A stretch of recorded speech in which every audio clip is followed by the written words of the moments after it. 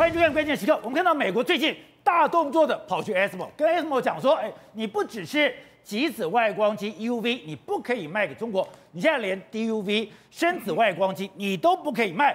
那想说，哎，奇怪，你不是那些深紫外光机只能做成熟制程吗？而先进制程，你从七纳米、五纳米、三纳米这些东西，如果没有极紫外光机，你本来就做不出来。在这个先进制程上，中国根本踏不进去。但现在的发展可能超乎所有人的意料之外，因为这是美国的一个商业周刊的报道。现在中芯竟然成功的量产了七纳米，而且它成功不但成功量产七纳米，它还成功的卖出去。干嘛？它作为挖矿机之用。而这个七纳米的晶片作为挖矿机，它的效能竟然比 Intel 还要来的厉害。所以石头。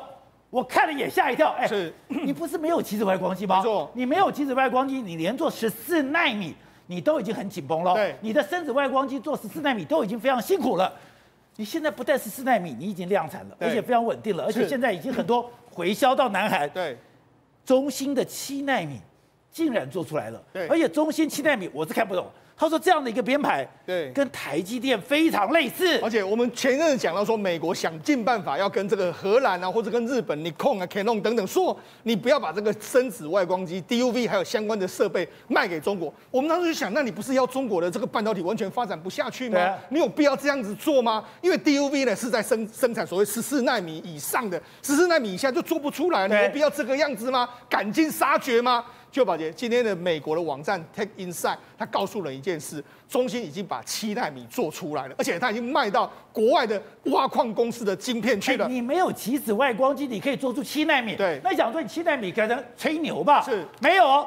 他就去算它的挖矿机的效能比 Intel 还好。对，没错，这是它的这个仔细看它的这个线路的设计在这边。那这是它主要的这个板子做出来的这个板子。抱歉，人家去看仔细看，哎，这还真的是七纳米的这个技术。原本 DUV 被你封在，如果按照美国的蓝图是这样，DUV 把你封在十四纳米。那目前台积电是三五纳米，准备要进入三纳米。对，我遥遥领先你三到四个世代。但是如果真的七纳米做出来的话，台积电目前呢主要是五纳米，那明年要推出三纳米，哎，这样差。差就变大了，很小。那当然，美国会非常非常紧张啊。所以你就知道说，而且根据人家去算，把他这个他的，因为他这个跟他下单的是 Minerva 的这个公司，他就把这个晶片拿来算之后，哎。发现到说，他用七纳米做出来的一个晶片的运算力，其实比 Intel 还要更好。所以也就是说，他其实真的做出这个七纳米的晶片，那真是如果真的属实，然后来说的话，是美国在半导体业面临到中国的一个非常重要的一个追上来的时间点。因为美国现在我要封杀你的先进制程，有两个关键点，一个是你的车用晶片，一个是你的军用晶片。如果你的七纳米真的可以用中芯做出来，也就用 DUV 深紫外光机做出来的话，那我要封锁你的车用晶片。我要封锁你的军用晶片，我就封锁不了了。美国看到这个消息会特别紧张，为什么吗？宝杰那 Intel 也要用 DUV 做七纳米，但他现在还没有做出来，就中国居然做出来，所以也就是说，接下来这个 Intel 是要买 EUV 才能够做七纳米，所以那显现在这个技术上面来说，中芯搞不好都已经追上了，在 DUV 的这个技术里面已经用的炉火纯青的一个状况。所以。中间居然扮演最重要角色，居然还是梁孟松。对，没错。梁孟松当时用 N 加一的技术，哎，你居然用 DUV 做出了十四纳米，是，大家觉得不可思议了。他现在用 N 加二，对，做出了七纳米。而且他说，中芯不但悄悄掌握七纳米的制程，对，这个已经出货超过一年了。而且那事实上，这个根据人家这个 Tech Inside 他的这个这个把它拆解之后，他发现到说，哎，它的七纳米的晶片架构十分的完美啊，就没有缺点，非常完完整的这个状况。好，那就是它主要的这个矿工摆在这个地方。好，那那实际上我们跟大家讲，这个梁孟松真的非常厉害。我们他当初挖他去的时候，他说 DUV 我我可以加 N 加一。N 加一就是说，我用十四纳米的技术，我可以到十纳米，甚至我可以加到 N 加二，也就是到七纳米的这个技术。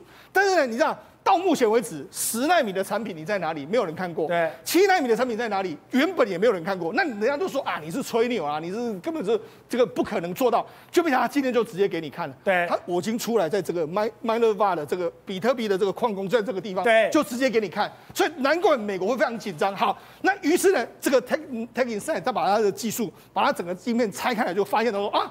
原来啊，你是这样，你里面是用所谓的台积电的相关的设计，还有台积电相关的这个图片相关的 IP 在那个地方，也就是说，它可能是用 DUV，然后加上台积电的设计跟台积电的 IP，然后做出了这个 Minova 的这一颗晶片。你的 N 加二根本就是 N 加台积电。对，所以呢，事实上这个时间点来说，刚刚有人去问台积电，台积电说：“哎，我们毫无所悉。”但目前为止来说，台积电绝对要留意这件事。万一他真的是用了台积电的技术来说，我们可以这个发动所谓诉讼战。告这个所谓的中芯半导体，因为中芯其实之前就已经有抄袭过台积电，被台积电告过一次。如果他真的再这样的话，那一定要想办法去把它提起这个法律的这个诉讼。重点是现在中国死猪不怕滚水烫，他跟你拼命还怕你告他？对，好，那于是就是这样。好，那于是人家就说那个 Manova 的公司来说话，大家去看说，那这个是什么什么公司？抱歉，目前我们去仔细去查了来说话，它就只有这个网页就只有这个样子。那没有任何的资料，所以它这家公司到底是什么？我认为是这样子，就是中国一定毫无疑问，它一定要生产出七纳米的晶片。但七纳米晶片里面来说啊，目前最好做的就是挖矿晶片，因为挖矿晶片来说，它的架构比较简单，但它可以用，它未来也可以把它升级成类似 AI。你很多 A 很多挖矿晶片弄在一起的时候，其实它也是准 AI 的晶片。所以它我认为是中心的想办法找到这个 Mano Mano Manova 来下单给我之后，我来试产，我试产做出来之后，无论如何我都要做到这个所谓的七纳米的晶片。那你你要讲。我认为是中国花了举国之力在做这个晶，为什么？因为它用 DUV 来说啊，照理说就是十纳米，你你要做到所谓的十纳米或七纳米不是不行，但你要花很大量的，你要把周边的科的所谓机台全部都换过，然后所有的设计要全部都换过，那做出来的七纳米一定是没有商用的能力，但是它有很高端的国防的能力。我如果用七纳米，它运算力非常强，弱，我把它放在飞弹上面，放在什么上面，那会是非常大的威胁。这也是美国最担心的一个部分。也就是我现在砍你的脖子七纳米，对。可是你七纳米，因为我周边要配合的东西太多了，对，没错。所以它没有办法说，我用 EUV 生极紫外光镜，我可以大量的生产。是，我就在好。可是问题是我不要大量生产。对。我还是生产出来啊，对，那我生产出来，如果我是放在军用上，对，啊，我飞弹就那几个啊，所以它就可以跟美国的技术会拉得非常近，这就是美国最担心的一件，就没想到真的发生了。好了，我们讲，实际上我们今天的这个这个媒体的报载是说，它已经生产了一年，但是它都不让人知道。那你去看中芯的财报，的确是这样。哦，而且它中芯的财报原本是这个样子，他说，哎，我们这几年的贡献度来说，你看它揭露十四到二十八纳米，然后四十纳米这样子揭露，他没有说他有十纳米跟七，他从来没有在报财报上面说我有十纳。米，我有七纳米，但其实他已经做出来，但是他就是故意不写，对，而且他不写不说。你看，在今年第一季他公布财报之后呢，他就跟你说，哎，我以后再也不公布什么我的几纳米、几纳米，我不不公布了，不公布节点了，从此就盖牌，不让你知道他的技术。所以你就知道，其实目前为止，而且在六月的时候呢，中国的中科院他有一个一个公告，就说我们要找那种你会七纳米相关技术的人员到中科院来报道。那想说，那你这是到底要干什么？你你做不出七纳米，你要七纳米的人才而且中科院是要做什么？中科院就要发展他们的武器。所以你看，武器跟七中心的七纳米如果对上的时候，哇，那真的是美国的非常大的一个梦魇。所以你说，中国你就算再怎么封锁，他现在在想尽各各种办法，哎，怎么样都把它弄出来。那我只要做出来，我成本再贵，我都要做出来。好。那除了这个之后，我觉得美国真的要开始，为什么会考虑要做 DU，要封它的 DUV？对，SMO 你不可以再卖 DUV 好，为什么？我们在讲林本坚，林本坚是台积电的前研发副总，宝杰长他还是我们的中研院的院士。那呢，我们目前为止所有的这个所谓的 DUV、EUV，其实就是由他的理论弄出来的。那他叫做浸润式微影之父。那他说了一件事，他说当初很多人就说啊，你 DUV 是做不到所谓的无纳米，但是他之前接受媒体访问，他就说可以。他说：“尽管在多方的牵制之下，中芯的技术应应该可以做到五纳米哦，那不一定要用非常昂贵的这个 EUV 设备才能够这个。你说中芯不用 EUV 也可以做五纳米的？对，但是它要非常多，它的成本或是从整个良率上面势必会非常非常的低，但是他会想办法去做这件事情，所以你知道至少可以做。如果用林本坚的说法，是可以做到五纳米哦。”五纳米的话，跟美国目前我们台积电的三纳米来说，其实世代还是拉得非常近哦。也就是说，你美国真的有办法在整个科技上面来说拉拉开，跟特别在国防上面拉开跟中国的差距，恐怕难度非常高不高？而且现在连日本的媒体去调查中国现在的半导体，是它在这一两年来进步的。非常快速。对，好，我觉得那事实上过去中国的生产签到怎么样？这是一个曾经在二零一六年去中国的生产线的一个台湾电子的公司，他说他去这个半导体厂里面无尘室里面，就他说，哎，中国用两倍的薪水挖我去哦，结果想说我应该看到是一个非常先进的设备，结果保洁站他在里面看到什么？看什么？里面非常脏乱脏乱不说，里面居然还有一条狗在走来走去。半导体里面怎么可以有狗？他就觉得很失望，怎么还会这样子？哎，无尘室到底说无尘，结果还有狗在那边走来走去，他想要失望透顶。但你可以讲，从过去的失望，但是中国还是一直不断的挖人。你看，这是日经的日经读卖的哎读卖新闻的报道，他们一直不断的挖，他用三倍多的薪水不断的挖你。反正不管怎样，我就先挖你来再说。挖你来之后，你看这还后来他还跳到别的地方。那反正他不断的挖到台湾的人才，然后再加上这样。你看，从二零一六年生产线有狗狗到现在为止，他已经用他的 DUV 做出一个七纳米的技术。你就知道他这几年中国半导体进步的速度的确是超乎我们的想象。所以现在美国就很大的压力，对，难怪他最近跟 SMO 的较劲越来越激烈。对，为什么这样说？我们我们刚才讲嘛，EUV 是往这个七纳米以下做，但是 DUV 呢，目前随着这个爱斯摩的技术越来越先进，它从原本的十四纳米已经可以往前推到十纳米，往前推到七纳米，甚至它在未来一段时间准备要推出所谓的七纳米制成的这个 DUV，也就是因为这样。那加上说，你中心已经靠 DUV 就可以做到七纳米。虽然美国当然知道，如果不在这个时候再封住你的话，如果真的它推出所谓七纳米可以做七纳米的 DUV，按照中国技术可以把它推进到 N 加二的时候，那是可以做到三纳米，那还得了？所以你如果没有封住它，你永远中国的半导体还是在后面追来追着人那么赶的时候，有一天一定会被中国给翻盘。好，这个你是交大电子呃电子物理博士呃的博士班，你看了这个东西。这个真的中芯这个七纳米真的是有学问吗？哎，我觉得应该不是说很有学问，就是说中芯哦真的有那种突破美国的防守的味道。因为一般来说，我们都认为啊，你做七纳米就要极紫外光机，你做不到极，你拿不到极紫外光机，你七纳米基本上被卡脖子。可今天中芯哦，既然做出了七纳米，而且我看到它产品的效能其实还不错哦，并没有差。这七纳米的晶面，我看。它的功率是九十五到一百零五 THS，THS 呢，其实是它意思什么？每秒运算一兆次的计算就叫 THS，所以它每秒可以运算到大概一百零五兆次的计算，每一秒钟。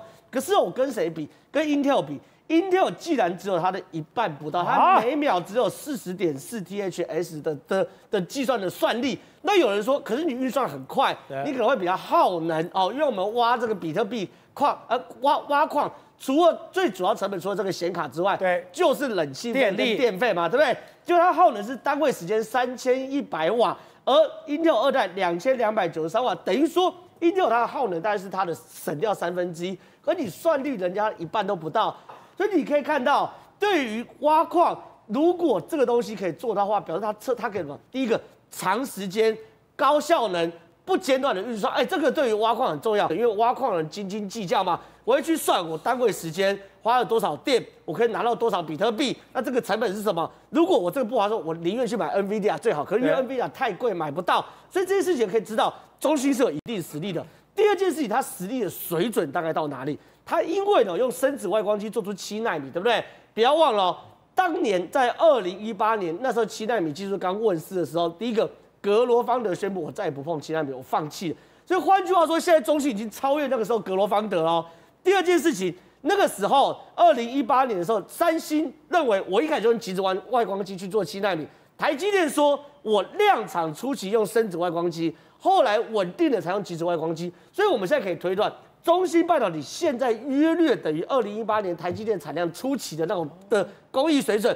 而且呢，我们刚谈这个技术已经呈现一年了，对不对？所以二零二一年的中芯其实已经有二零一八年台积电初期在处理七呃七纳米的这个水准，其实相差没有我们想象中的大。而且他想说这个版本跟台积电非常类似。对，有人说他偷台积电的东西啊，这个是有可能。但是 anyway，那因为现在才刚曝光，所以里面的技术细节呢会有专门的。我跟你讲，台积电的法务还有工程师现在一定在研究它的技术细节。我先不谈。偷不偷啦？我偷了，我也不见得做得出来。所以这件事情呢，你可以看到，台积电一定要把它交代清楚。对，因为台积电不交代清楚，美国人怎么看？对，所以说第一个不止美国人看，他的商业也要交代清楚嘛，对不对？所以台积电现在一定会，因为我这样讲啊，七纳米现在在台积电还是非常重要的获利的晶片，所以台积电一定会去查，所以它的技术规格啊，它里面的有没有专利陷阱踏到，我们晚点一定会知道。可我谈的事情是说，就算我抄袭好了，我在二零二一年的时候，就差不多等于二零一八年年初台积电的时候，其实两边相差没有大，差三年而已。最后一件事情。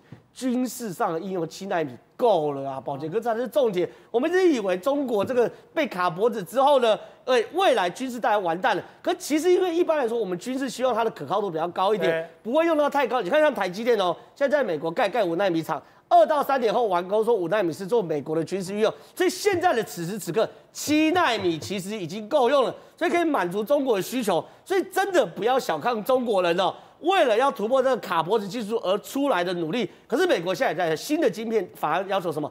未来可能连深紫外光机我也要卡你脖子。难怪现在这么紧张那个晶片法案。对，因为状况是这样嘛，之前觉得说我卡你极紫外光机应该就可以卡七纳米，可是没没想到不想被揭露，中心靠深紫外光机就可以做出七纳米。所以现在老美在思考说，我连生殖外观也给你卡，看你怎么办。所以这一系列艾斯莫不接受啊。对，所以说那是外交途径，是老美跟艾斯莫的讨论嘛。那未未来说，我砍你脖子，老美基本法案可以说我可以补贴你多少啊？所以这些事情后面有的桥。你说现在在谈判阶段。对，所以说这些事情只是看未来中国怎么跑。可我讲现在中国真的不容小觑。但是林北今天讲了一句话，说你当然可以用现在技术去做到五纳米，可是他说那个非常贵。而且你很难大量生产，那你不能大量生产，你就不能市场化啊。第第一件事，我认为深紫外光机应该不可能做到五纳米，但是做到七纳米是有机会的。可这个非常非常贵，为什么贵呢？我讲一个逻辑就好，因为极紫外光机或深紫外光机是在在机片上去做雕刻的用。那简单讲，你要做精细的雕刻，用粗的 粗的雕刻笔，请问你雕的是不是雕的很累，哦或雕的很慢，或者说不小心力量大点，突腿就弄弄过就破掉？所以逻辑是这样，就是说这个的的良率呢一定会下降很多。可如果从工业的角度来看的话，呃，中国解放军权没有问题吧？我做一千遍、一万遍，坏掉之后一遍可以用，我放在我的战斗机放在我飞弹上就可以了。所以呢，在军事上。绝对没有问题，可是在这个所所谓的商业上，绝对不可能大量推广。走，我们是外行，当然搞不懂。哎，是什么 DUV、EUV 差别在哪里？是这个图就可以看得出来吗？对，因为 D，因为我们就讲嘛，EU、EUV 跟 DUV，它重点在这，它写进用那个雕出来那个笔尖的这个状况。你有没有注意到，用 EUV 雕出来的时候，它的是比较完整、比较工整的一个状况，而且它线路的通线路的通道其实跟维持大概的这个宽度。可你看到它其实用 DUV 做出来是 Y 七扭八，对，，Y 七扭八的时候会怎么样？宝杰，那电路通过的时候有的粗，对，有的窄，对，电路通过的时候有时候会比较混乱一点。所以为什么用？因为你它彼此之间会有所谓杂讯，会互相干扰，所以这个线路的孔的宽宽细其实它都有它的固定的原因的。所以用 EUV，我们导播们来看这个，对，就像我们在玩那个电电流棒一样。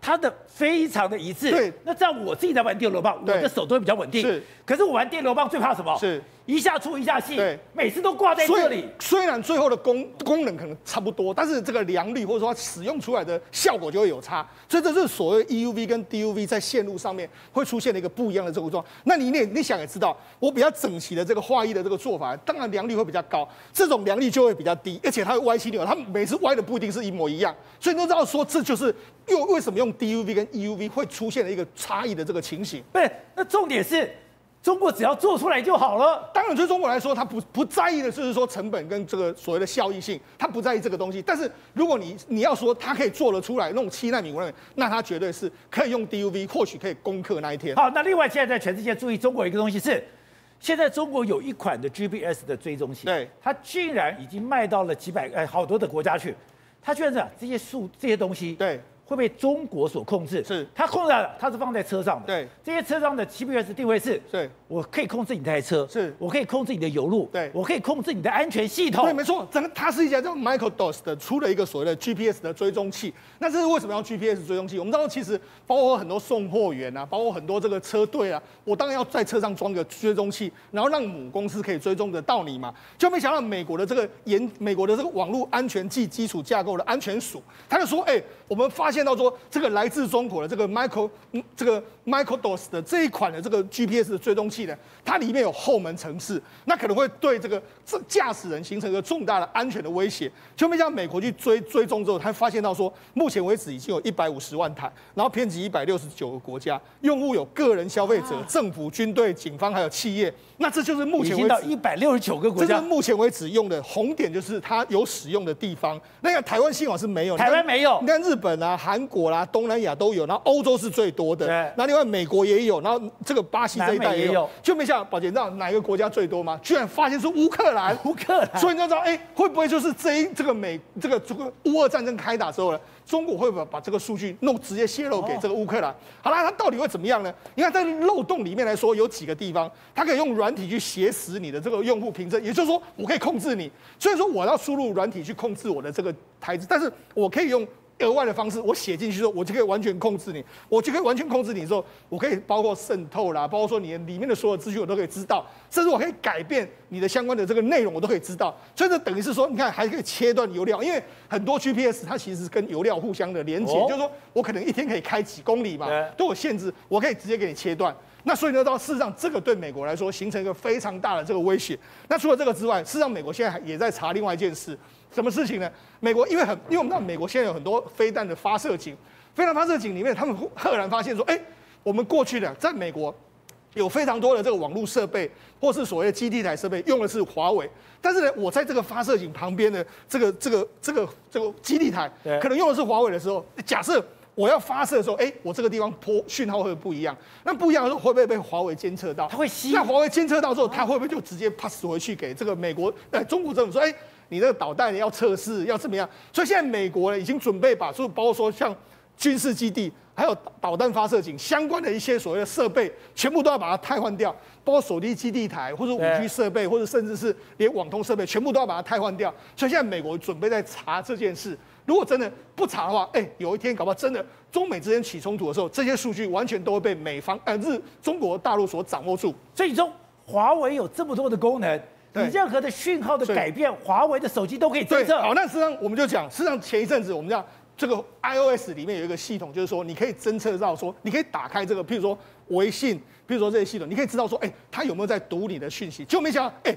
人家现在都看上网在剖出来，你看，他就说，哎，我打开，我一个晚上都没有打开过微信哦，就没想微信自己，他后门城市就在读我的，他等于就在读哦，他在扫描我的所有的照片这是他们扫描的这个状况，就是它可以反监反侦测，iOS 有一个功能就是这样，它就反侦测，那像因为它是隐私的这个状况之后，你看淘宝也是一样，每天我都没有我都没有开哦，对，QQ 也是这样。然后美团也是这样，就是说我在没有用的状况之下，它居然就自己进到我的网页里面来扫描扫描我所有的东西。你要说，你就知道说，其实中国的所有软体里面好可怕，都暗藏有这个后门在那个地方。所以这也是为什么美国一定要把它查出来，否则真的有一天呢，美国所有资讯都会流到中国那边去。好，所以体会，现在中美之间这些东西，刚刚讲到，原来你的卫星定位，你的所有东西都已经变成两边的国安问题吗？还有，哎。美国千想万想都没想到，说我已经封住你的 DUV，而且中兴以前根本就是非常落后的这个部队，怎么现在一下子七纳米都做出来？七纳米做出来对美国真是很大的威胁吗？对，那个中国他常常有有钱好使鬼鬼推磨嘛，所以他其实用钱去买，然后甚至于去欺骗。我相信当中一定有鬼，就是说中国他大陆想尽办法都在窃取你的资讯资料。那他做这个东西干嘛？跟也跟他的北斗卫星都有关系的。所以你看到我们现在，你看到台南舰现在之所以能够到博流去，我们封锁消息哦。对。结果呢，竟然还可以被他的卫星侦测到。那他为什么知道我们台南舰要出去？那为什么知道说要去博流？为什么要去去这个地方？因为同一个时间，你知道，再过两天的时候，我们还有另外一艘船叫巡护八号，也在高雄港跟着出去。跟着出去干嘛？那一艘船才是真正我们每一年在中西太平洋进行非法捕鱼的巡护计划。对，所以我们每一年都要派一艘船出去，这是正常的。但是问题是在这艘船的前面那一艘台南舰出去，为什么要被抓到呢？然后现在呢，出去之后回来的时候，轨迹图也都被公布了。所以什么意思呢？即便我们做那么严密来讲的话，它的卫星系统它都在侦测我们，因为这也涉及到未来它怎么去准备拿取台湾的一个东西哦。所以说台南舰这件事情，当然对我们台湾来讲，哎。原来环太平洋军演我们没有参加之名，但有参加之实。在环边的太平洋军演的时候，我们的台南舰竟然到了博流附近，跟美国跟日本我们进行联合的一个演训，哎，我们当然很高兴。可是没有想到中国的网站竟然把你台南号什么时候离开高雄港？你每天的间隙在哎，台南舰已经把我的这个定位已经关掉了，在关掉的状况下，我还可以每天清楚把你的位置给定出来。那真的是北斗卫星定的，那是北斗卫星。它台南舰已经把 AIS 把它关掉了，关掉之后，这边还可以这样子。那事实上是我们跟伯琉有双边的海巡协定，我们跟美国之间有双边海巡协定。比较特殊的是什么？就日本也参加了。所以日本参加的主要的原因，可能就是因为美国邀请日本去那个参加，那它那个规模就等于像什么环太平洋军演之后的这些海巡海巡相关的舰艇的一个联合演习。所以现在来讲的话，虽然表面上说，哎，我们没有参加这个环太平洋军演，台湾这个没有被受到邀请参加，但是事实上啊，美国秀康秀康，他马马马马上用一些方法，然后把台湾拉进来，拉进来之后，也不要让你知道，也不会也也。所以那个台南舰出去的时候，事实上是在保密的，是在封锁消息的，也不愿意让这个中国去知道这件事情。但是没想到，中国每天紧盯着的美国的 Coast Guard，也紧盯着台湾的 Coast Guard。对。所以呢，你传一出去来来讲的话，他就会做这动作。而且我们到那个现场去的时候，不是在做什么非法捕鱼打击，或是海上救难，专门在什么？中共他太多那什么海上民兵啊，或是灰色地带的这些做法。所以我们所有的这个演习科目都跟灰色地带的打击是有关系的。所以现在来讲的话。这个事情来讲，当然不是我们这边泄密的，是中国它有很多技术可以去抓住了我们的很多相关东西哦。那未来呢，我们如果跟美国现在接下来汉光演习，然后要跟美国接下来在后续的这个西太平洋进行演习的时候，中国一定是紧盯的这个这样的演习科目。不是，而且我们讲，你可以知道台南舰，就代表你台南舰所有的通话的所有的频谱，你所有的基本资料，那是被老共抓到了。是老共抓到了以后，哎，所以我们关掉了以后，他才可以用北斗卫星主动侦测到。对，因为我们的所有的海巡官官兵哦，其实早就已经被上面下令了，不能用中国使这个制造的相关的手机。哦，对，所以制造这早就已经做做一些预定了严密的规定。所以为什么？因为我们几艘舰专门是未来就平战转换，要专门在做战争用的，不是说单纯捕鱼用的。所以。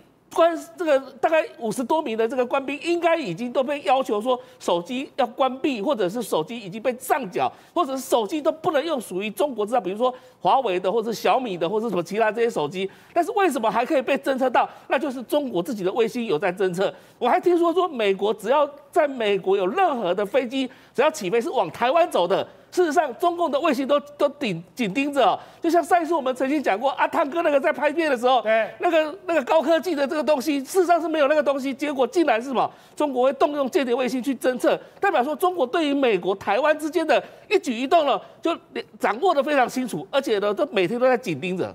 董事长，你想说，现在台湾、中国、美国中间有个最敏感的，就是裴洛西到底要来台湾，而这个传到什么，我自己都吓一跳，有这么严重吗？裴洛西讲说，他来可能被中国的飞弹打掉。另外讲说，现在他来了以后，中国会在这边搞一个禁航区，是真的会闹事了。裴洛西今天呃在在白宫的这个他呃周四的例行记者会上，被美国的记者询问这个事情，呃问到他有关说这个美国军方对他来台湾访问的这个关切，他他说他没有跟总统谈过，没有跟拜登谈过这个事情。对。他说：“他是不是说他也没有去跟军方沟通过？那是不是说他的飞机如果飞到台湾上空的时候，会被中共解放军的空军呢把它打下来？这个事情，他也不知道这个事情。但是基于安全考量，他的访这个访问行程，他是属于国家安全 （national security） 的议题，所以他不对外宣布。他今天是答说法是这个说法。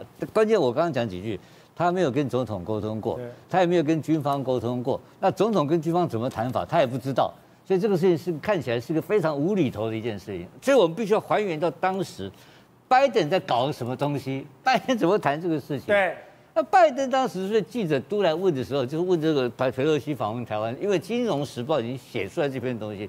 那拜登就是结结巴巴讲的，他说：“我认为军方认为说。”这个到访问台湾是不好的事情，那这个什么？我认为军方认为这到底怎么回事？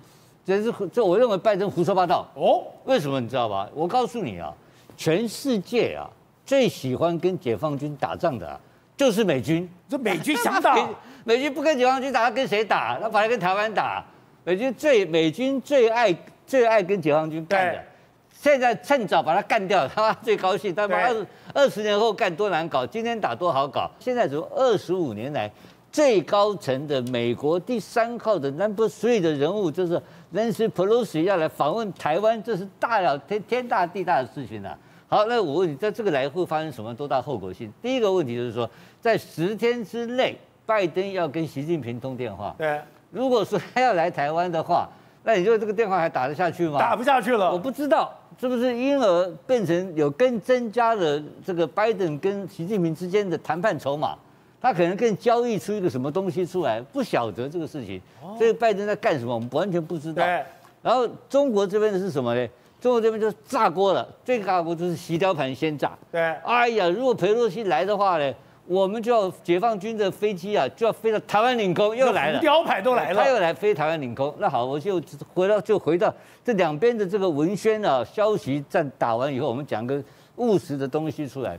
那裴洛西有没有可能，因为你中共的军方或中共中央中共的呃北京当局警告我，然后我就不敢来台湾？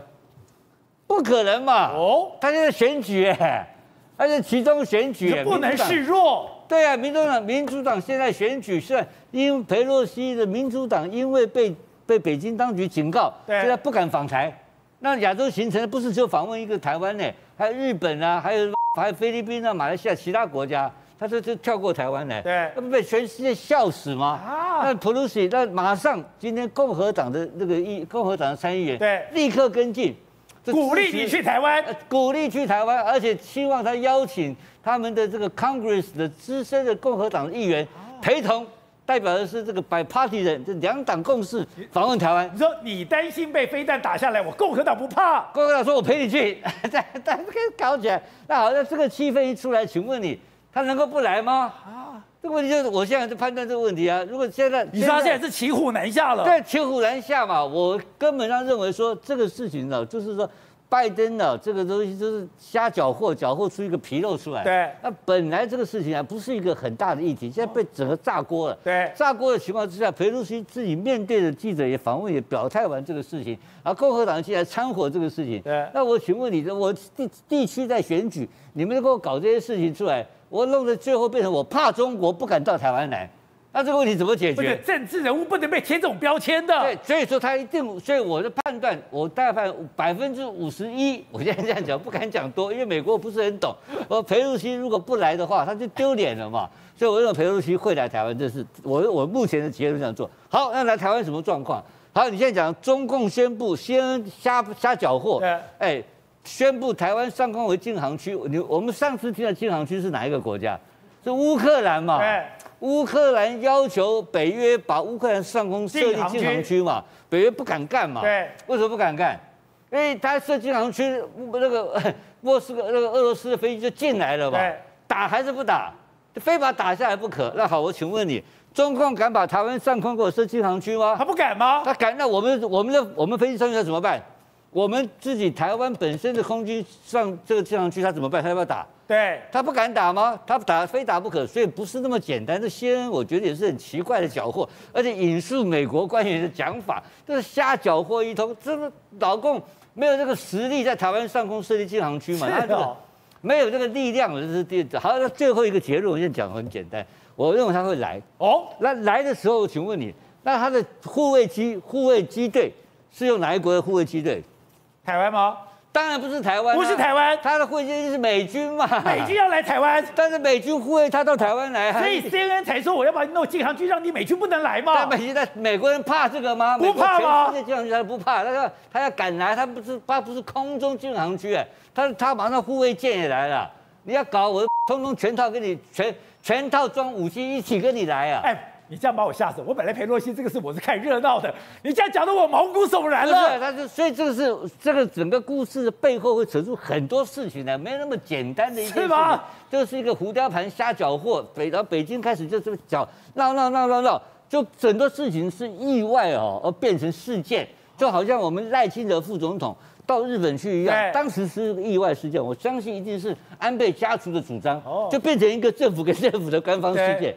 就现在这个注记就变成一个官方事件，就赖就是官方的高层能够降落到日本的本土，不是接受要所以裴洛西这个很好玩吧？你只是众议院的院长，你整个美国历史上也只有一个福特，而且福特是两个总统，不，总统、副总统都挂了，你才可能去当总，没有那么重要。你把他提那么大，你现在大家都骑虎难下了。你在讲的是另外一个问题，就是美国的高官到台湾来访问，在法律上允不允许？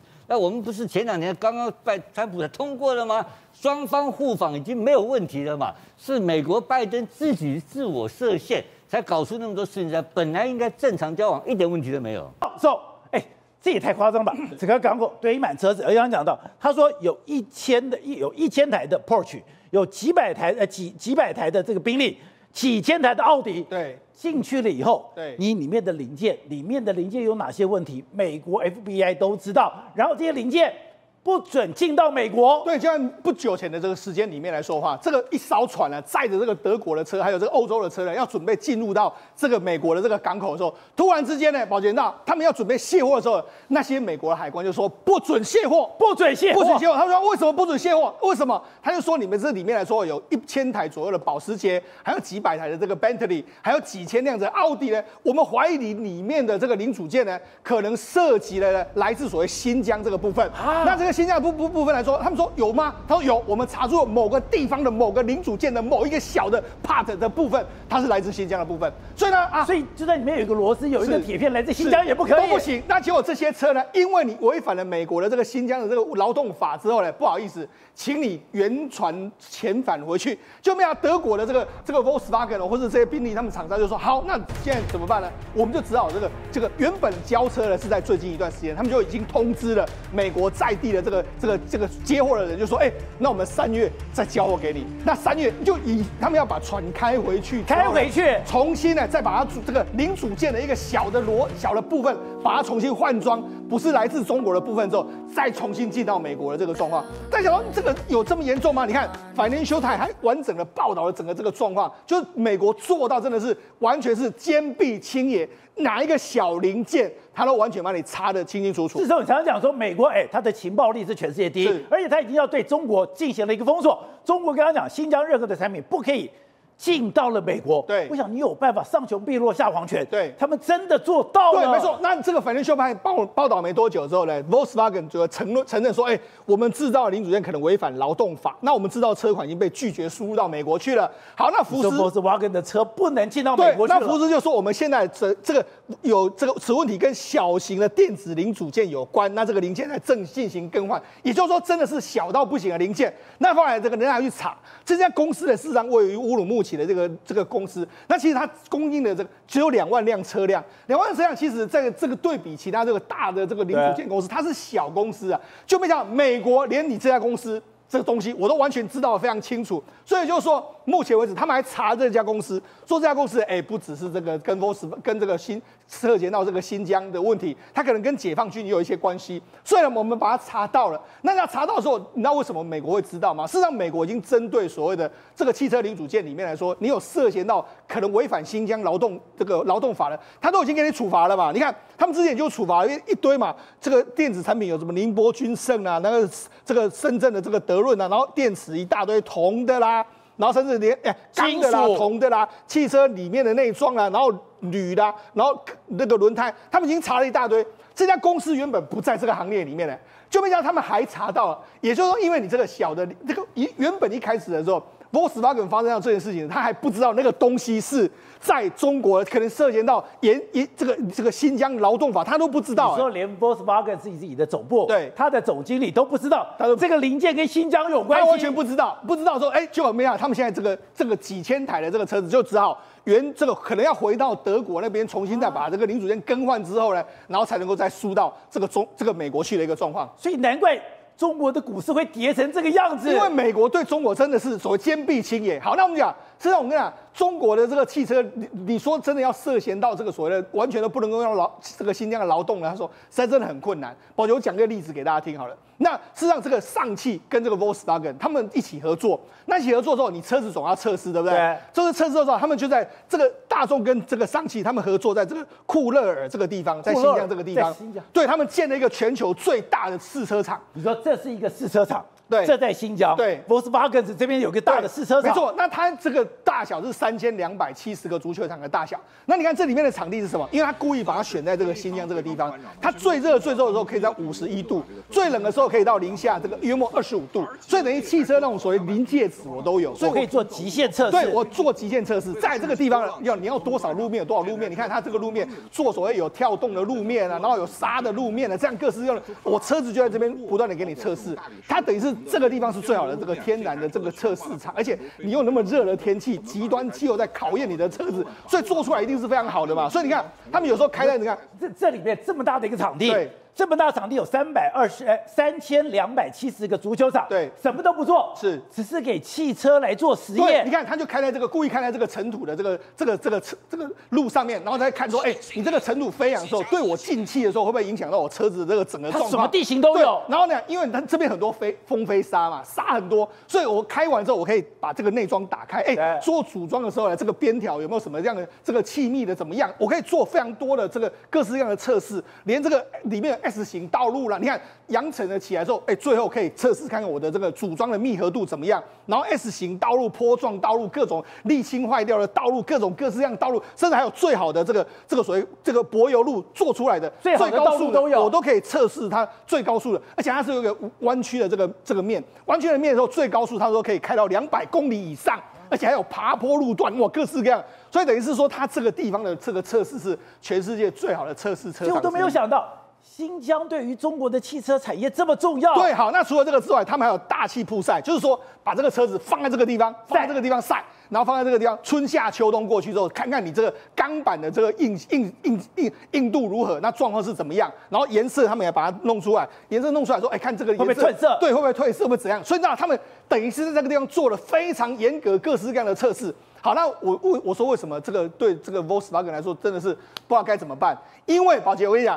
这个这个试车场在哎，这个试车场在新疆，对不对？它也是新疆劳动法的规定。等一下，我今天 Volkswagen 的车，我要跑到新疆去做这个车辆的试验，对，也不行。对，所以现在呢，Volkswagen 他现在知道啊，糟糕，我搞不好这些车子呢，真的到你这个边去跑的话，哎，可能也是涉及到这个新疆劳动的这个相关的问题啊。所以未来 Volkswagen 可能他就啊，我好不容易跟你盖了这个这个试车场，那目前为止我这个试车场到底该怎么办？所以你看为什么这样说？你看。这原本你看，这也是 Volkswagen 自己也写出来了。你看这个中国的这个这个市铁哎中铁四局啦，还有上汽啦，还有大众，他们携手发展的这个状况。然后为什么要发展这个所谓最大的试车场？试车场从空拍图是这样子。对，那为什么要发这个试车场？就说啊，因为我们要响应这个中国要怎么扶贫嘛，要这个让这个很多偏远的地方就业，所以我们到这个地方去设了这个。那这个地方来，他们还招募了大量的维吾尔的民众来来跨区就业，所以这个地方有大量的维吾尔的。这个相关的民众在这边工作，所以呢，他们还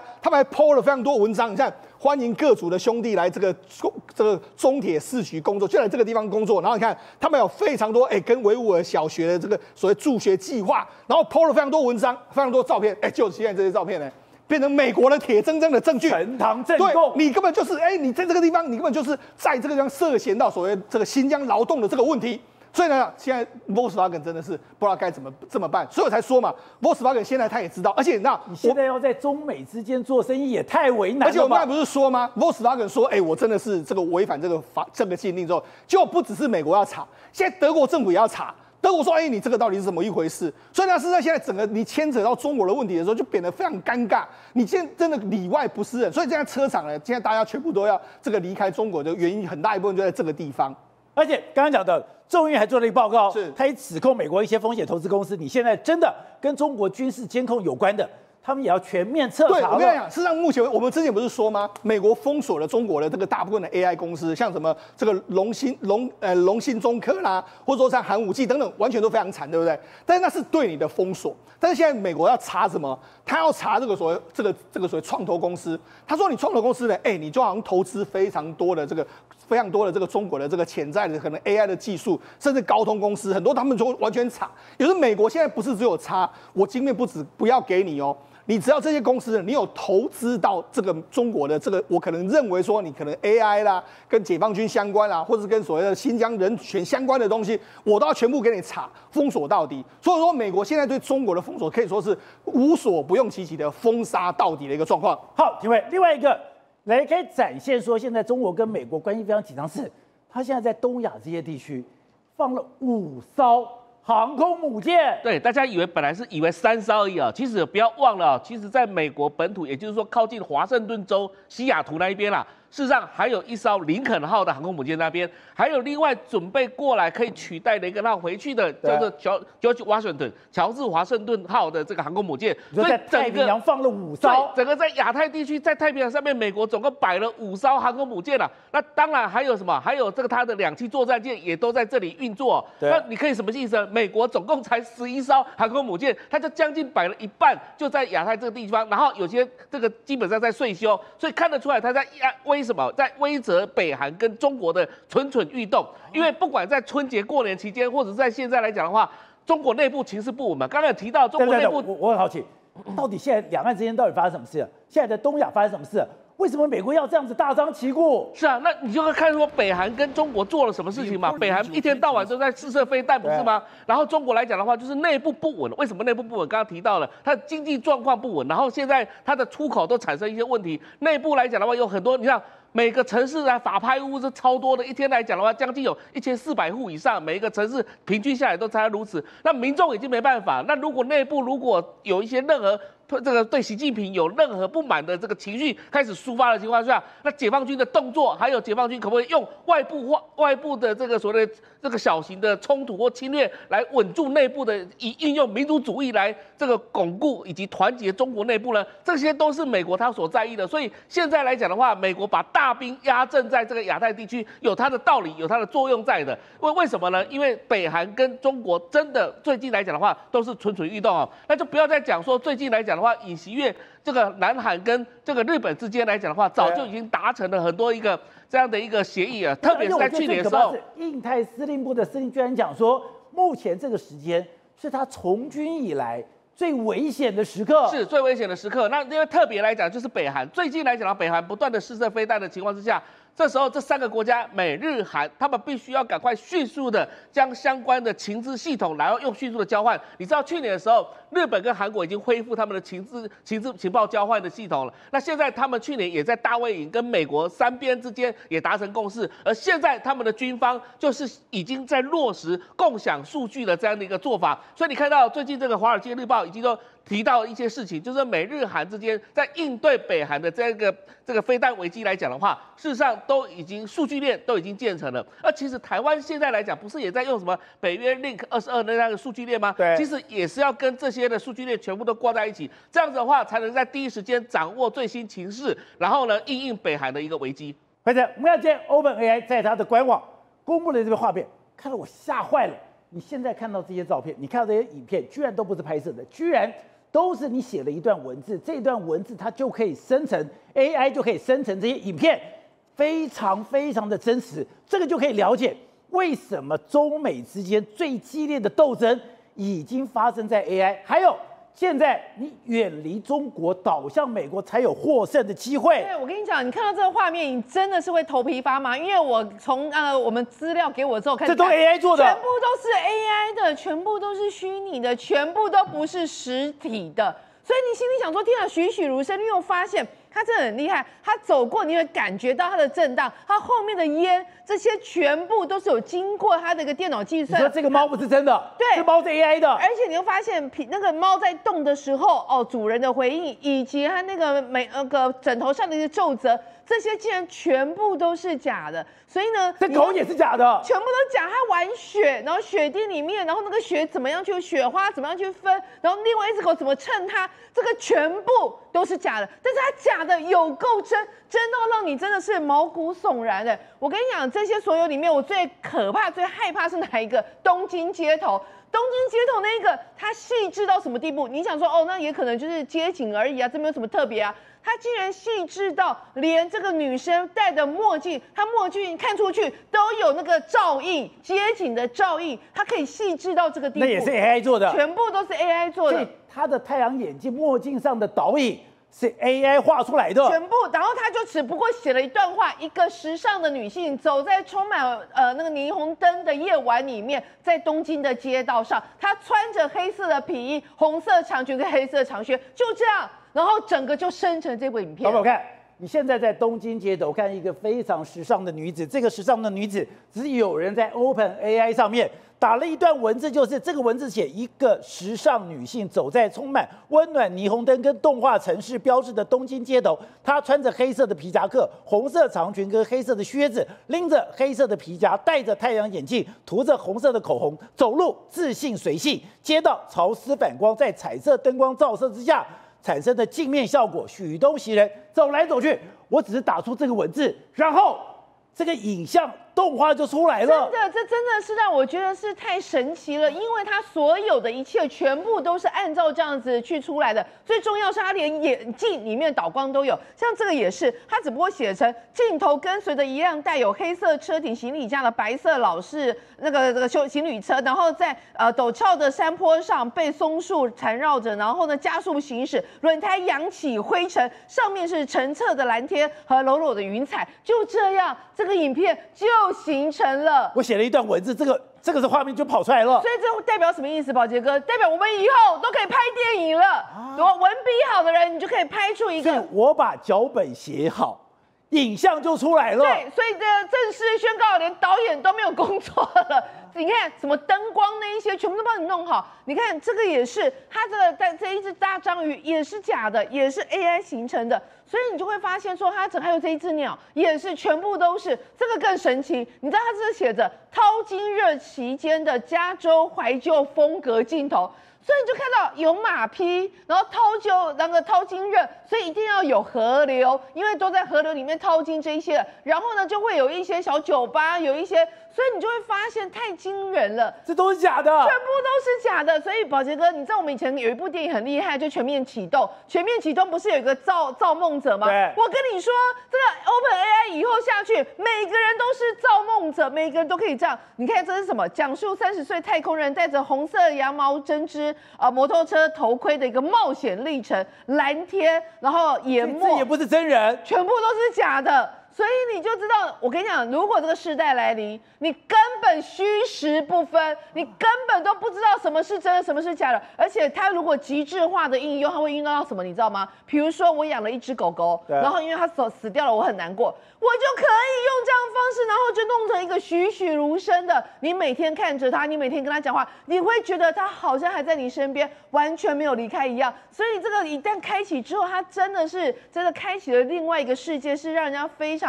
惊恐，但是又期待，而且更可怕的是，刚刚我们看到，哎，我很喜欢那黄金猎犬。这黄金猎犬只是讲说，有一猫的一窝的金毛幼犬在雪地玩耍，它们的头从雪地里面探出来，等于说被雪覆盖着。我只写这一段文字。这个画面就跑出来了。他们玩耍，所以他们要磨蹭，他们要祈祷，所以你就知道他对玩耍的定义，他竟然完全懂得我们什么叫做玩耍。哎，我觉得很可怕。他 AI 竟然懂得我们什么叫玩耍，然后再来还有一个很可怕是那个东京阶层，他也不过就打了一段话。穿过东京郊区的火车车窗上的倒影，结果他就会出现一个画面，一个女生看着外面，然后呢，她的她看过就是那个东京的那个街道的一个倒影在，所以我觉得很可怕是，比如说像这样画面一个出来，你怎么会就这一个就这个倒影？对，他就刚刚一句话，穿过东京郊区火车车窗上的倒影，就这样。它这样可以完全有那个倒影的感觉，所以我觉得这个世界一旦开启之后，真的很可怕，因为真的真的一个全新的世界，虚实部分的世界真的也。而且刚刚讲的，因为这个东西它的商战已经开始了，国力的战争已经开始了，也难怪刚刚讲的，为什么 Open AI 的这个创办人还讲说。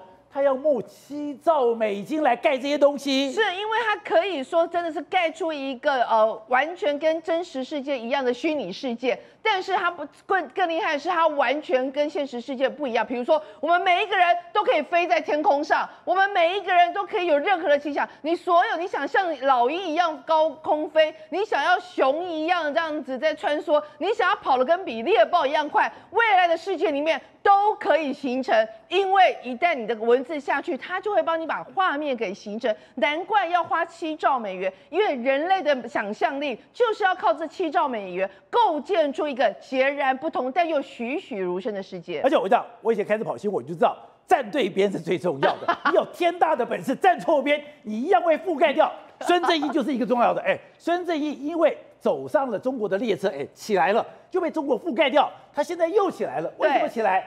他又站对边了，站对了 AI 的列车了。是守得云开见月明。我跟你说，这深圳，因为我之前我们还讨论过，你完了。真的，二零二零年的时候，他那时候亏到他一度要把 ARM 给卖掉。那时候就是 NVIDIA 出四百亿美金要跟他买，他差点要卖，因为他一准那个真的是撩个鬼后对，所以他那时候真的是要割掉这一个肥肉来卖掉，补其他什么滴滴车型啊，然后其他的那些亏损。他那时候亏到一屁股，他那个愿景基金一号七百亿美元。亏到我记得好像那时候剩不到一一成，所以很夸张。他那时候差点赔到连这个基金股都要卖掉，还好谁救了他？英国政府，因为他们那时候否决了这个，后来他就守住，守住之后，果然这个 ARM 到最后就因为跟 NVIDIA 搭上关系，成功切入了 AI。现在所有的 NVIDIA 相关的晶片全部都有 ARM ARM 的架构，所以这在这个未来世界里面是最大的利基。这也是为什么 NVIDIA 几乎都会采用这个相关的，都是采用 ARM 的这个架构最重要的关系。所以现在人家这个日本相关的报道就讲到说，哇。这个软银的这个孙正义又开始展开微笑，而且他本来从一个感觉上，他最后一个投资可能是一个落魄的身影而下台，没想到现在华丽转身，成为另外一个非常风光的下台时。好，一峰，另外我们讲说中国，哎，日本日本股市不断的现在创新高，对，但日本股市不断的往上冲的时候，有一个公公司，哎，也是非常旺，就是丰田，对，丰田才发现，哎，原来不是只有特斯拉，丰田现在做车子。也几乎完全自动化，而且完全 AI 化了。对我们来讲，丰田，丰田 Toyota 原本是亚洲第一家最高的市值这个公司，但是因为电子关系的关系，所以呢，Samsung 超越了它，台积电超越它，但是呢，它在过去半年六个月涨了几趴，四十四趴。涨了四十四趴，所以呢，它现在要把 Samsung 给压下去了。它现在已经超越 Samsung 了。现在来讲的话，它的市值是十一点五二兆的一个台币。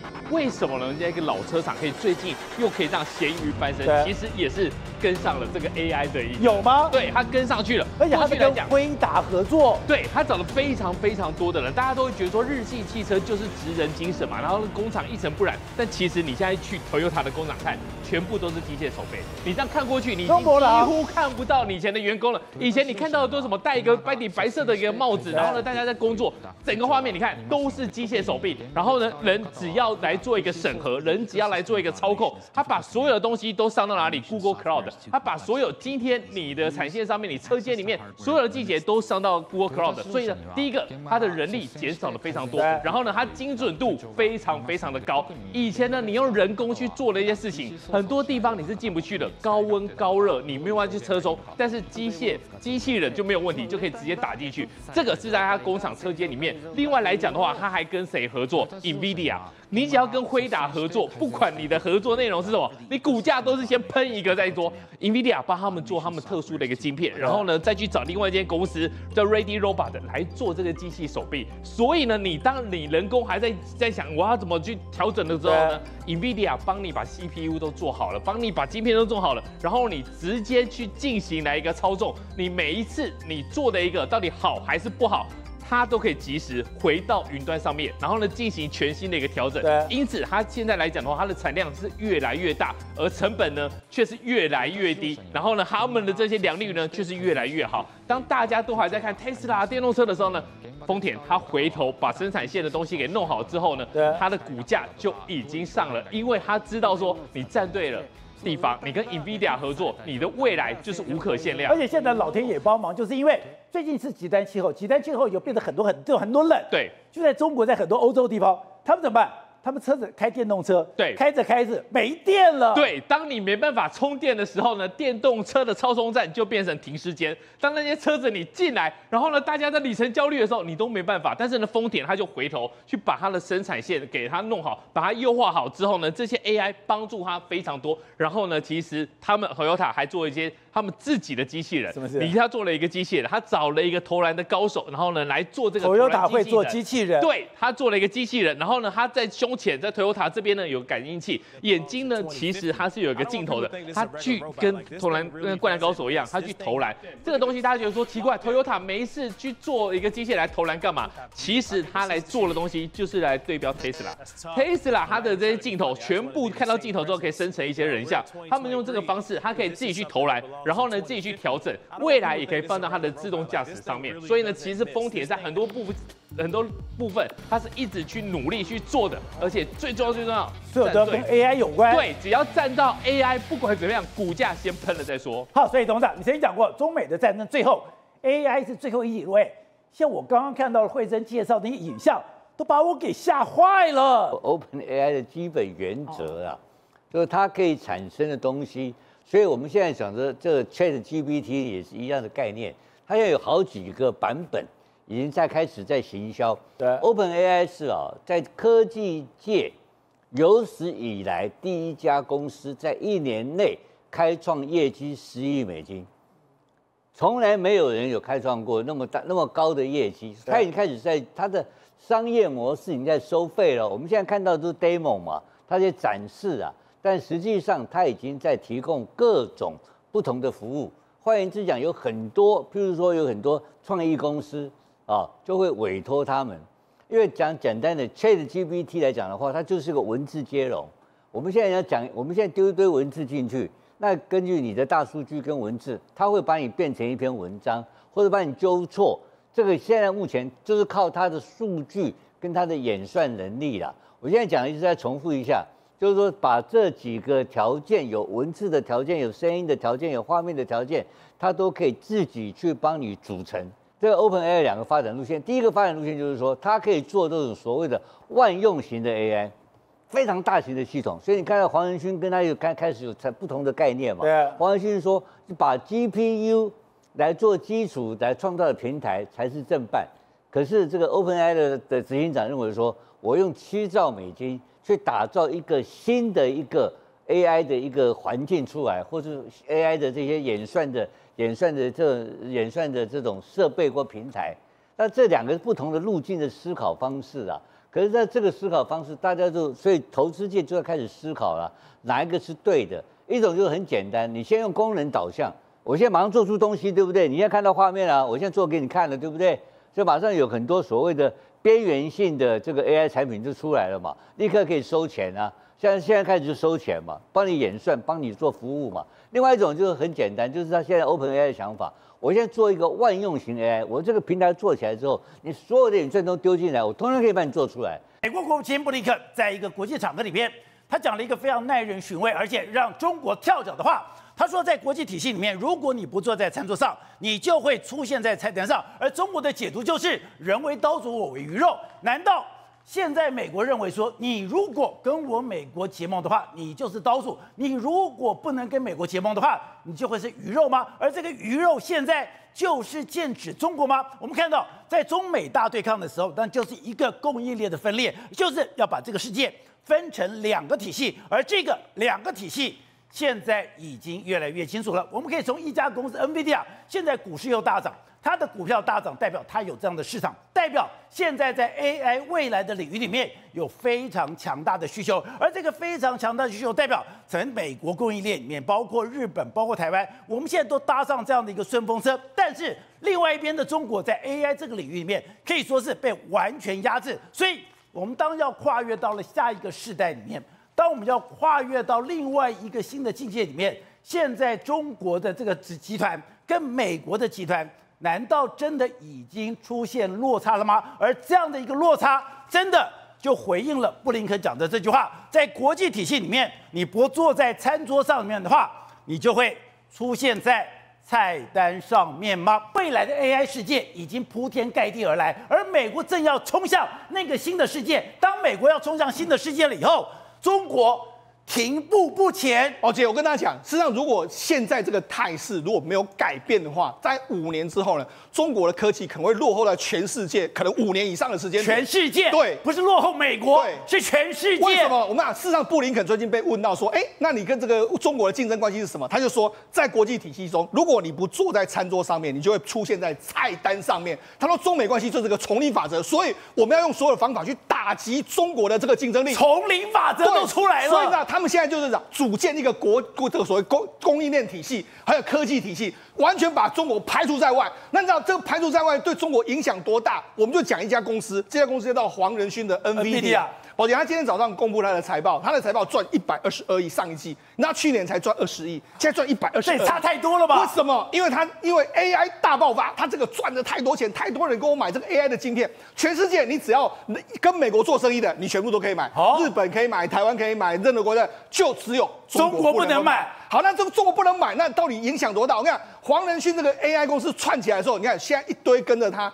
Meta、Google 全部都在扒着他，跟跟他要这个相关的这个晶片。对，好，那连带的，因为他的晶片卖得很好，台积电做得非常好，所以台积电我们今天台股创下历史新高，事实上跟黄仁勋的 NVIDIA 有非常大的关系。也是 AI 概念。对，好，那还有另外一个国家日本。日本今天也创历史新高，为什么？因为黄仁勋的那些晶片做出来的话，很多 AI 伺服器那些全部都要用到日本的机器设备一大堆，所以日本也创新高。所以等于是说，在黄仁勋这个美国 AI 体系的领导之下，现在出现一个完全跟中国不一样的格局。那中国刚刚好就被排除在这个生成式 AI 还有 AI 世界之外。所以是我们今天只是看到的新闻说，哎，NVIDIA 大涨，NVIDIA 今天它大涨了两倍多。是，你说你看到不是这样子，看到是这个 AI 的大军已经形成的，AI 的。世界已经形成了，而且这个 AI 的大军，除了刚刚讲它的 Meta，它的这个所谓的微软，包括它的 Amazon 之外，对，是这个大军在后面跟着，都要进到了新的 AI 世界。台湾跟日本也都受惠了，对。但是现在像中国，你的百度、你的阿里巴巴，全部。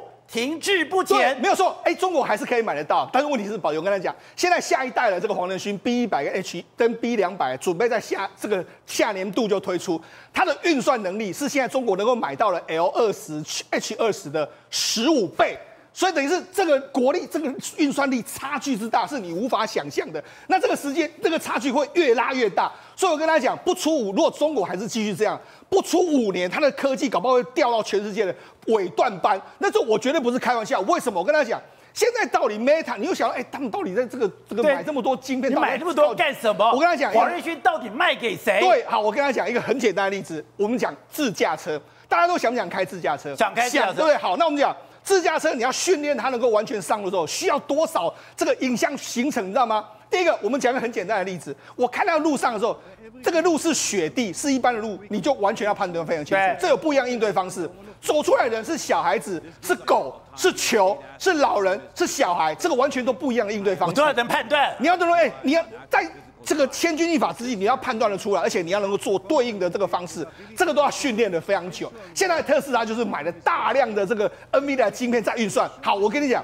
特斯拉现在可以运算得出来，我问你，中国能不能运算出来？不能，它不能，它只能够有它的七分之一到八分之一，以后还会拉锯到十五分之一，它怎么有可能？所以它现在电动车一天到晚出状况。所以到最近中国电动车发生什么事情呢？他们有是什么有标榜说，哎，我可以一按一键呢就可以自动停车。就那发生什么？我按一按自动停车的时候呢，那个那个驾驶人在看看看，哎，他居然要停到一台已经有人停的位置，要撞下去了。是幸好这个这个驾驶赶快踩刹车，不然就撞上去了。那路边他们路边发生很多事，是吧？就是他们在测试，他们在研究室里面测试的时候，他们的车不断的撞到假人，不断的撞到假，就是他没办法判断这么多。所以我就讲，这个如果他们继续这样的话，不出五年的时间，他绝对自驾历史会。你看，他他们就这样，他们说。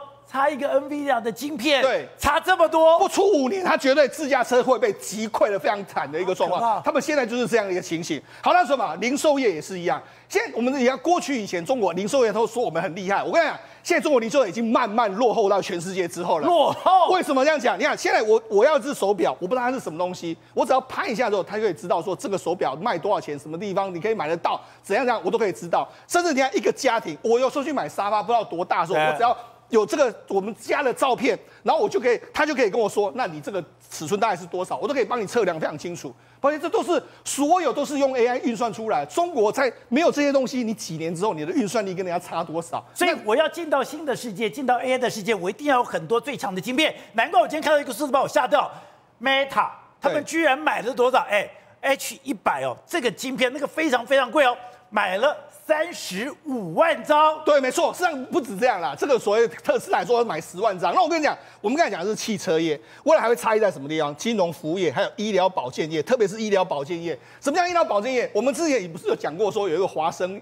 华生医生，对，华生医生就是电脑，它这样帮你运算，对不对？我想以后根本不需要，以后你只要用 AI 运算之后，它可以看着你，它就可以知道你所有的病症，它可以判断的更清楚。这都要大量的运算，大量的速度。问题是中国它有大量的资料，它有很多资料，没有办法运算，运算运算力就是少了那么多。所以我在跟你说，这个差距会在未来几年会差异的非常非常巨大。而且连胡锡进哦，对，他这个胡雕牌，对，他看到这个状况，他说看到了美国 AI 的发展，对，看到 NVIDIA 发展。他说他心神不宁。对，为什么他心神不宁？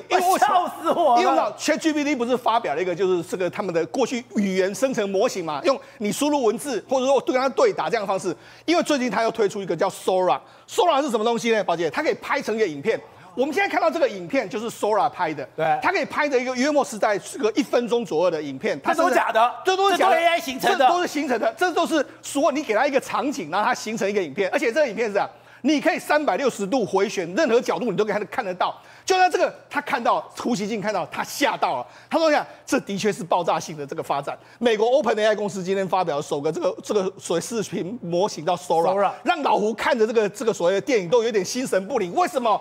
因为目前为止来说，这个等于是未来所有电影都可以用这个生成呐。而且我我跟你讲，这个差在什么地方？中国现在绝对没有办法做到这件。为什么没办法？因为它没有那么大的这个运算能力。这个运算能力要多少？你看。他们中国的搜寻引擎说，要能够连接到一百万个 GPU 就已经令人吃惊了。他们要连接到一千万个 GPU 以上，你说 NVIDIA 可以连接到一千万个 GPU，他们要这么大的运算力才能够做出这样的东西。那请问你中国有这样的能力？没有。所以还可以说，为了所以为什么老胡会看得心神不宁？他自己他其实对科技也并没有那么懂，可是我相信明眼人一看都看得出来。所以你说中国现在要连接一百万个 GPU，他们都做不到了。可是现在你看到的美国，对，他们已经可以连接到一千万个了。你可以看到，这是其他其他的几个影像处理的这个状况，这跟大家都差距非常非常巨大，这个真的是相当一个相当巨大。那我们不要讲中国，中国现在没办法嘛，所以你看，现在中国整个这个制造业，你看，包括说含武器。它目前为止就非常差嘛，因为整个 AI 相当糟糟糕的一个状况，甚至我们就讲嘛，所以你说在中国的 AI 产业，对，全部都垮台了。对，甚至我们就讲嘛，事实上这个测试里面来说，他们的测试这个常常就压到假人。那甚至因为整个中国目前为止来说，不是只有 AI 这个晶片弄不到，他们很多晶片也弄不到。所以到最近一段时间，中国的整个 AI 的这个，哎，中国的这个电动车也是发生非常多意外，发生爆炸、自燃一大堆的这个现象都出现了。所以这告诉你什么？因为你缺晶片被美国封锁的这个状况之下，中国目前的国力真的是慢慢落后在全世界的秩序之外。你慢慢慢慢的落后之后，有一天你现在或许还没有在菜单上面，但是在几年之后，或许你就真的会出现在菜单上面。中国现在已经被逼着离开餐桌，对，被逼着离开 AI 的餐桌，对，所以才说布林肯说的那句话值得中国好好的深思。好，董事长，你说你同意思聪讲的？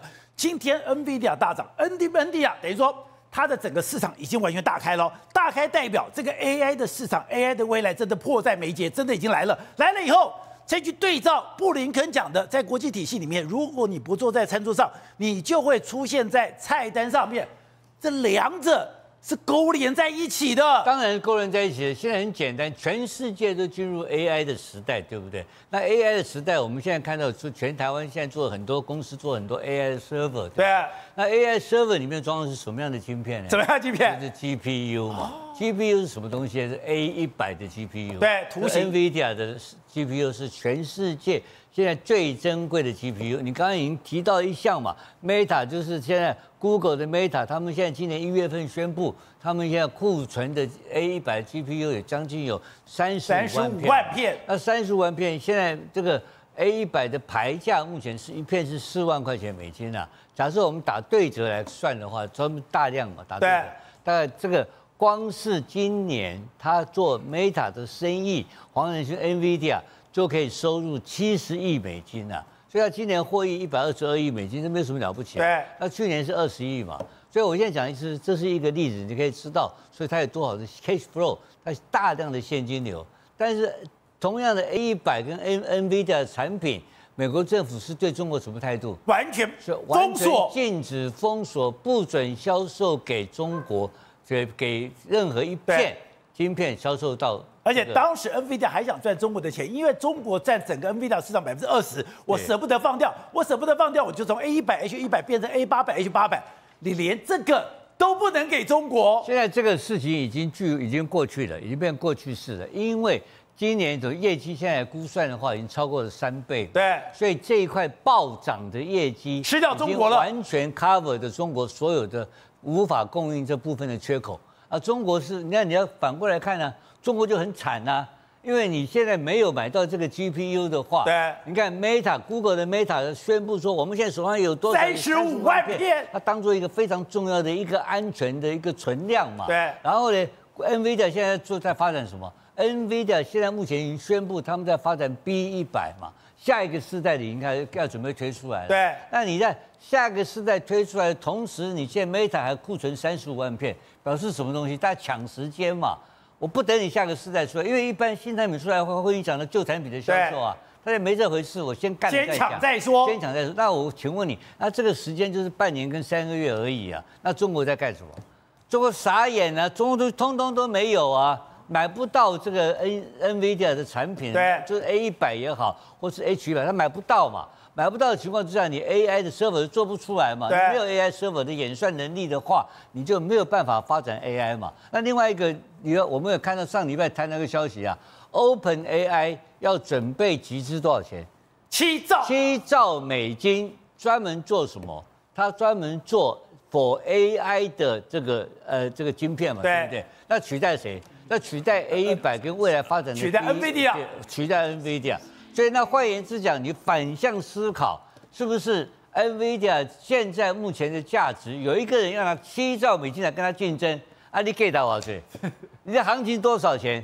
你你现在我要拿七兆来换跟你拼呐、我打半打对折都有三兆五，就是它就是它就是有七兆七兆的行情嘛，就这么简单一个。所以 NVIDIA 是世界第一的公司，毋庸置疑的。AI 里面它已经是领导第一名的领导品牌。就换言之讲，呃，当 OpenAI 这个计划没有完成以前，这个之前所有的市场全部是这个黄仁勋一个人独吃嘛。对然后这个东西一片也不会去中国大陆，这才可怕在这里，你知道吗？那在这个情况之下，那这个的科技的代差的落后，就会变成落后到好几个世代。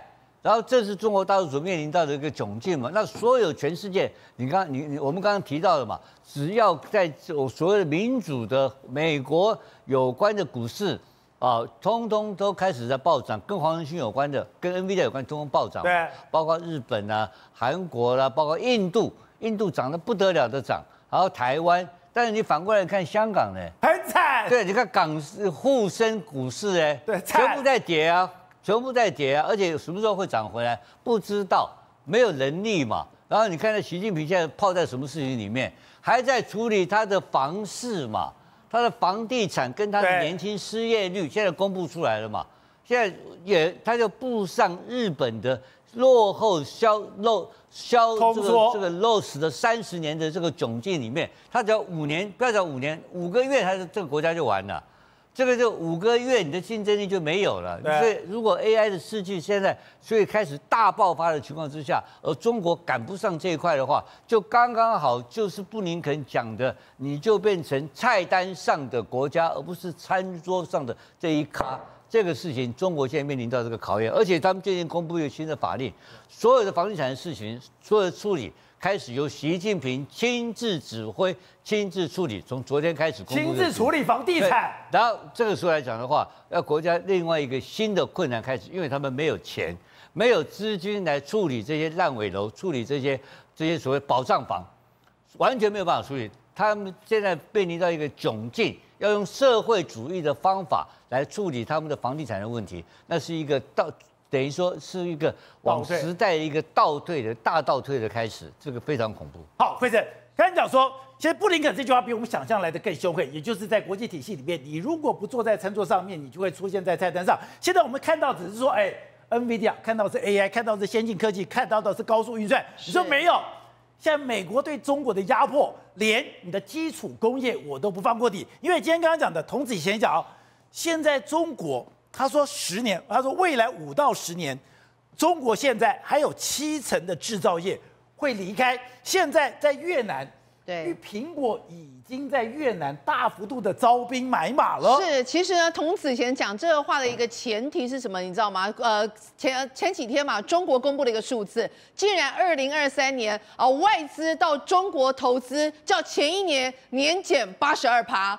年减八十二趴，只剩下三百三十亿美元，而且是三十年来最惨的状况。所以呢，没人去投资了。没人去投资，所以童子贤讲这个话其实是保守了，因为他说未来五到七年啊，有七成的那个外制造业会离开中国，可能时间会比童子贤想的还要来得快。为什么？因为包括以苹果为首的相关供应链，鬼怕拢刮起啊，刮去哪里？哎，其实第一个地方就是到越南，你知道吗？他们现在预估哦，苹果不是包括呃富士康，包括红海，连自己合作都有到越南已经开始这边布局了嘛，因为他们都是他的苹果的代工厂，连立讯中国自己的厂商立讯也到了越南去，而且你知道立讯在越南，他们现在预估今年要增聘四点七五万的越南人，而且因为现在全这个所有的供应商都去了，他们说这两三年抢人抢到什么地步，现在连越南国小毕业，他说不要给你来，我给你嘎。所以你就知道，整个制造业离开中国，现在不仅是进行式，而且可能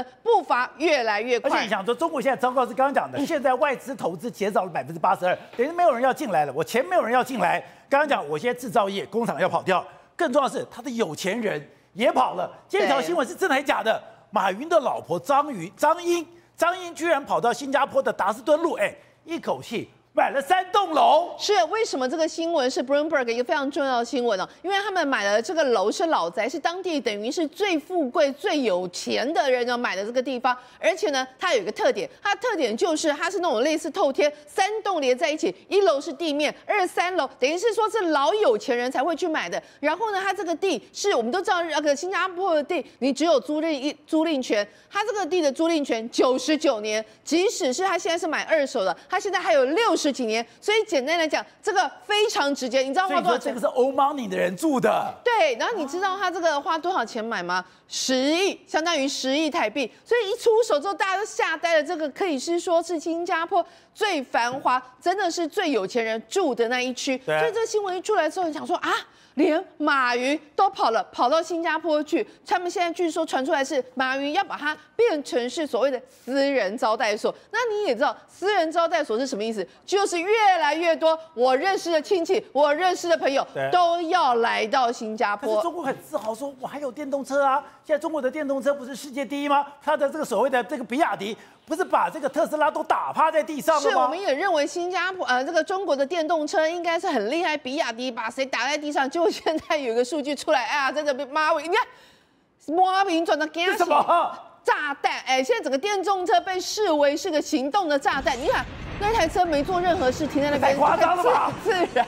他们现在竟然公布说一个叫做二零二三年啊第一季中国电动车自燃率增加到三十二趴，自燃率增加三趴，你会发现很可怕。现在中国电动车宛如行动的炸弹，哎，它根本什么事没做，它停在那边它就会爆炸，然后爆炸之后，那你赶快消防人员来救它吧，扑扑呃扑扑灭不了火，因为电动车非常难灭火啊。所以他们讲，你看你这个车，你看。对，电车起火了，它甚至不在马路上，它是架空，它架高，它架干嘛？它在充电，连这样在充电车也会自燃，所以他就说而且水完全不能扑灭。完全灭不了。你看，连摩托车、电动摩托车，你有没有发现一件很诡异的事情？这些车子都是静止，没有在动的。所有连没有在动的电动车都会自燃，你说这会给它小，这个更荒谬。那台车已经在自燃，对不对？这个消防车要来灭它的火，对不对？结果你的灭火那个管线竟然漏掉、坏掉，水就这样洒出来，那一头的火一直在烧，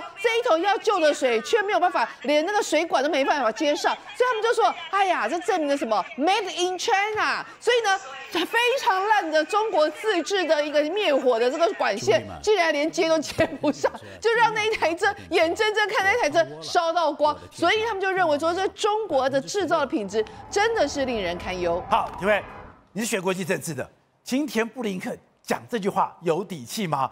真的是充满凶狠的味道吗？你知道，我们从一六四八年开始，威斯巴利亚体系开始到现在啊，其实各国讲求是什么东西？就是国家平等。其实今天《环球时报》第一个出来先批斗布林肯的这一句话，他说：“你这个根本就是社会达尔文主义。”你说中国马上返回？对，为什么这么讲呢？因为中国开始担心了嘛。我们先还原那个现场是什么？在慕尼黑会议的时候，其实主持人在小组会议当中，布林肯还有德国外长，还有印度的外长都在同一个小组。那时候主持人就问他说：“你们现在不是中美竞争吗？那到底哪些是你的朋友的意思啊？”这时候布林肯就讲出这一句话，就告诉你说：“如果你不是啊，在餐桌上，你就是会在菜单里面。那什么意思呢？他其实告诉全世界说，不管你是哪一个国家，你要么跟我站在一起，那否则来讲的话，你有可能就上菜单了，就变成被人家分割的这个对象。那为什么中国会那么紧张？因为他认为说，以往来讲，美国的世界观，特别是民主党执政的时候。”是有可能国际合作的，我们还有那个合作又不是只有在斗争而已，还有合作那一环。结果今天从布林肯嘴巴里面讲出的一个话，代表中国对这个幻想已经破灭了。美国不可能跟他合作了，因为在竞争的关系当中，只有斗争而已，存在斗争。因为布林肯讲的话是。现实主义的言语言，它不是理想主义的语言，而他讲说那是丛林法则。对，anarchy 这个你知道我们在国际关系当中讲的是一个无政府状态，它丛林法则，大家都是什么追求最高至上的 power 是权力，然后来斗争。现在美国要确保什么东西？AI 最高最大化，而且是最优秀的，这时候才能跟中国来斗争。对，其他国家现在你们看着，因为他讲一句话，布林肯后面又讲一句话，说我们已经做到我们最好的那一块了。其他你们等着自己看吧，看着办吧。意思说你们自己靠过来吧，我也不会去求你说你要选择到底是中国还是选择我。你基本上你就自己靠过来，因为我们已经做好最大的表现了。哎，布林肯这句话的意思就是说，全世界最好就站在美国这边，对，没有什么选择的问题，因为这个选择没有说从中国跟美国之间选择，因为你只有一种选择，那只有选择美国而已。他的讲话的意思说，全部大概都是他的门帮的意思啦。对，那这也是符合什么？拜登讲的所谓的 Democratic Alliance，就是民主联盟的这个概念。那为什么要这个呢？因为团结力量大，一起来斗争中国，这就是布林肯最大的这个愿望了嘛。所以今天从布林肯嘴巴讲出来，中国为什么用《环球时报》、胡锡进或者是所有官媒全部都跳起来了？因为中美之间没有合作的空间了。好，一峰。